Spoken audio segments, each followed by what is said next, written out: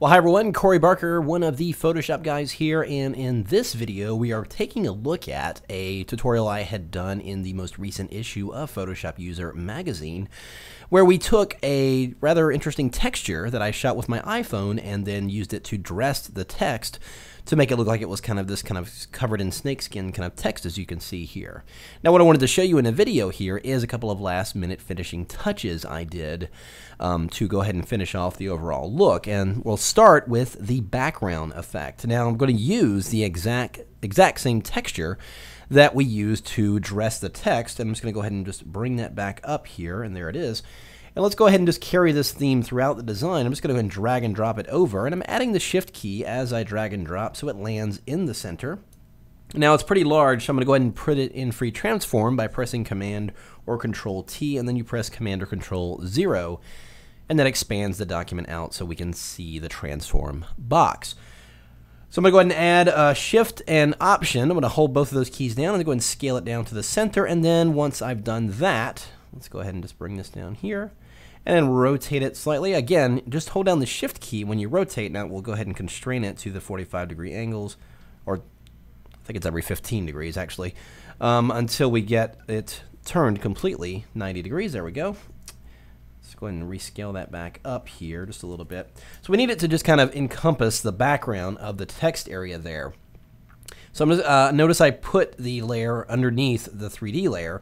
And let's go ahead and give it a color. I'm actually going to go ahead and use the hue saturation and just do it directly. I notice I'm not using an adjustment layer. I'm just going to go ahead and make this correction directly to the layer itself. So let's go ahead and just kind of give it a blue kind of um, cast to it there because blue is going to uh, look good against the um, or the yellow the yellowish text is going to look really nice against that blue background there now it looks um, Unfinished, of course, because the edges are cutting off right there in the middle. So let's go ahead and add a layer mask to that background texture. And I'm just going to go ahead and use the gradient tool.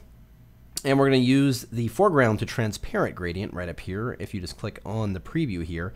And let's go ahead and choose the second gradient here. This is the one I use 99% of the time. And uh, we're going to go ahead and make a use a linear gradient. And down here, let's make sure the foreground color is set to the default colors just by pressing the D key on the keyboard and then press X so it puts the black in the foreground swatch there. And it's going to come in from uh, each of the sides and top and bottom of the texture here. Just give it a nice fade as we go in. And then you can see that gives me a really interesting background texture element there.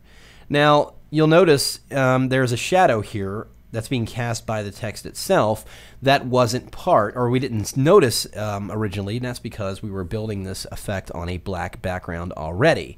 But now that we've placed a texture behind it we can see that shadow pretty good. So let's go ahead and get rid of that by jumping into the 3d panel here and let's go ahead and open up the properties panel along with it and we're going to go ahead and select the environment property right here and let's jump over to the properties panel.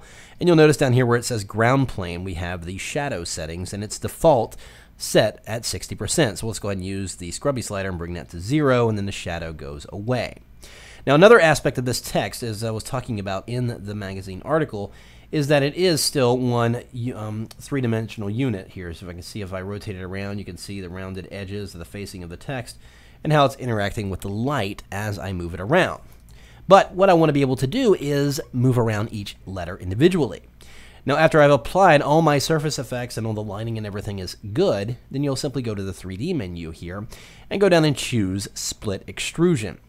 Now what this does is it keeps everything still on a single 3D layer. You'll notice over here in the layers panel, it's still one 3D layer, but now I can go in and select each letter individually and rotate them um, by themselves now. So they're now they can interact with each other. Notice if I move it into the uh, the letter K there, and just kind of have it where it looks like it's wrapping around in there. So see how it's see how they're interacting. It's casting a shadow here, and so these various elements now can be made to interact with each other in um, more interesting ways now that you have gone ahead and dressed up the text and everything like that. So just another way to think about 3D, especially when you're doing it with text, because text inherently is separate characters, and being able to go in here and just separate them and create a entirely new look altogether is pretty exciting. And if I go ahead and select my current view, you can see what's going on here is that now it's tilting and rotating the text in all different angles. So a lot of really cool things you can do. And of course, when you are done,